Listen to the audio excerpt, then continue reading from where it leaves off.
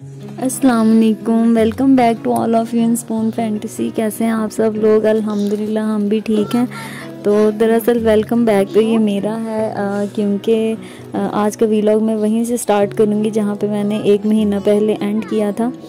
और इतनी देर बाद क्यों अपलोड कर रही हूँ, उसकी भी काफ़ी ज़्यादा जेन्यन रीज़न्स हैं।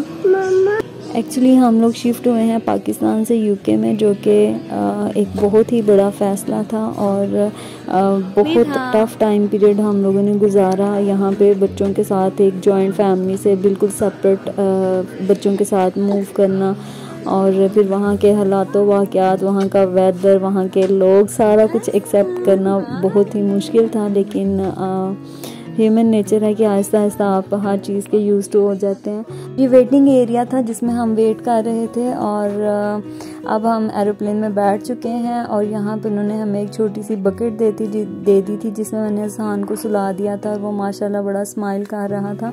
वो तो सो गया था लेकिन मिरहा काफ़ी ज़्यादा डर महसूस कर रही थी एरोप्लेन में बैठ के क्योंकि मिरहा क्या मुझे भी बहुत डर लग रहा था क्योंकि ये हमारा फ़र्स्ट जो है प्लेन का सफ़र था। लेकिन अल्हम्दुलिल्लाह ठीक हो गया और सबसे पहले हम कतर पहुँचे थे और उसके बाद हमने यूके का जो प्लेन था उसमें सफ़र किया।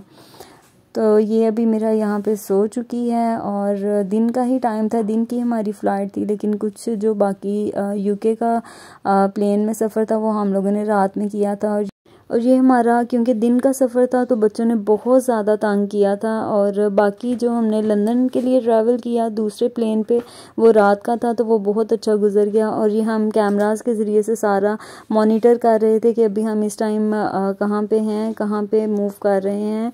और ये हमने कतर में लैंड करना था। तो काफ़ी अच्छा एक्सपीरियंस था और ये अब रात हो चुकी है और ये बिल्कुल घर वाला माहौल था क्योंकि कोई भी प्रिकॉशन आप नहीं थे ले रहे। सीट बेल्ट वगैरह आपने खोल दी हुई थी और मेरा नीचे बैठी थी काफ़ी क्योंकि ये तकरीबन सात, साढ़े सात घंटे का सफ़र था जो कि मैंने भी आधे से ज़्यादा नीचे बैठ के किया था। तो थोड़ा रिलैक्स हो जाते हैं इतने लंबे सफ़र में। सबका बहुत शुक्रिया जिन्होंने इतने ज़्यादा मैसेजेस किए और दुआएँ दी। और मेरी सारी स्टूडेंट्स का बहुत ज़्यादा शुक्रिया। आई मीस ऑल ऑफ़ देम और ये हम यूके बॉर्डर पे पहुँच गए थे और यहाँ पे बहुत लंबी लाइन थी। इसकी स्टोरी मैं बाद में शेयर करूँगी। और फाइनली ये है, जो हैथ्रो एयरपोर्ट था यूके का ये हम पास कर लिया था हमने। और ये अब हम जा रहे थे घर। बहुत लंबे सफ़र के बाद आलमोस्ट अठारह घंटे के सफ़र के बाद finally we are in UK तो फिर मिलते हैं नई वीडियो में. अल्लाह हाफि